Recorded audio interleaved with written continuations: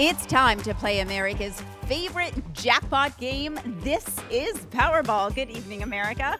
I'm Laura Johnson. Tonight we have another life changing jackpot for you. It's worth an estimated $187 million, so get those tickets out. Let's play. That first number up is 39, followed by the number four. Tonight, we're going to meet Barbara Yeasley, who won $50,000 playing Powerball. Congratulations, Barbara. Now, for the rest of those numbers, we've got 10, 37, rounding it out tonight with 69.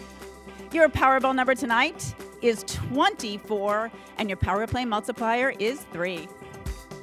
Let's take a look at those numbers one last time. Remember, there are multiple ways to win.